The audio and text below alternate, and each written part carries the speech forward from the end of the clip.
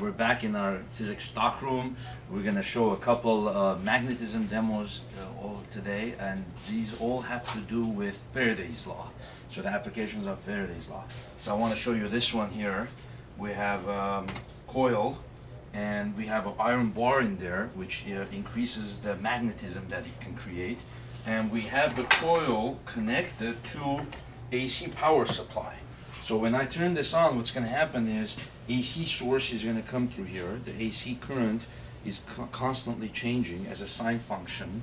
So that means the coil is going to create a magnetic field inside of it. And because the iron bar is there, it's even stronger. And that magnetic field is also going to be constantly changing.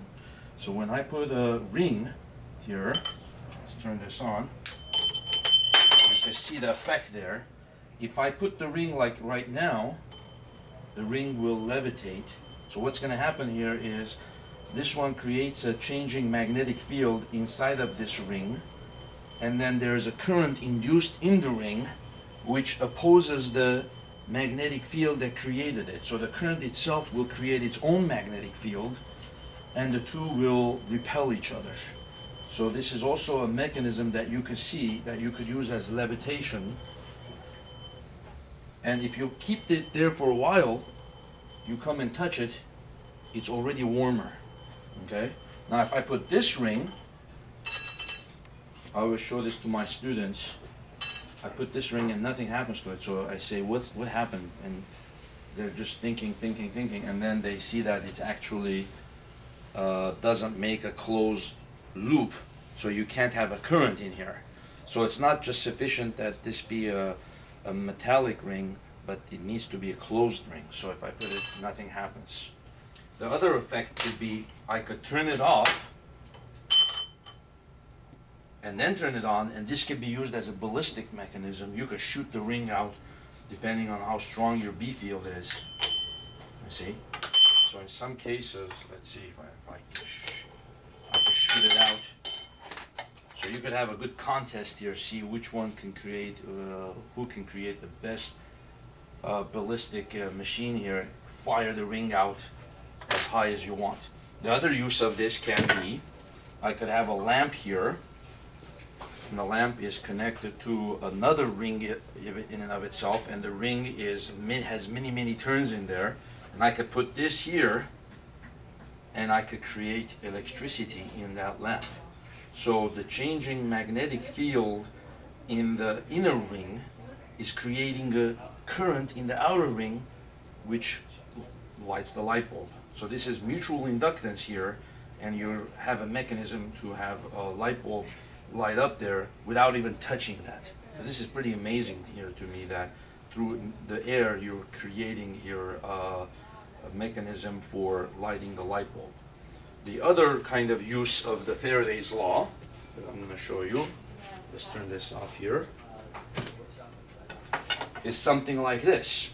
We have uh, two tubes, okay, and we have two similar looking objects here, these blue looking objects here, and I'm going to drop these uh, objects through these tubes. And we're going to time how long it takes each one see which one uh, goes there faster. So as you drop it, you see one of them goes really fast. And the other one takes much much longer. Okay? So there's that levitation effect. So what happened there? Well this one went a lot slower. And what you learn is that this is actually a magnet. So if you put it something metallic, okay? You see, like here I'm putting it against this metal, this sticks, whereas if you put this, it doesn't stick at all, right? So this is the ma uh, magnet.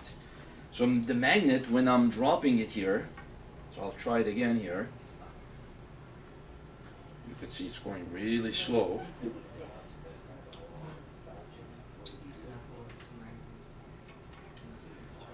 This is also an application of Faraday's law. The tube is acting like a viscous fluid and slowing the magnet down. So what's happening is as the magnet is coming, each element of the each element of the tube you have a changing magnetic field created and so you create current in that tube that opposes that magnetic field so uh, it acts like a viscous fluid they oppose each other so it acts like a buoyant force on the magnet and it counteracts its weight. The weight still wins but it goes much slower.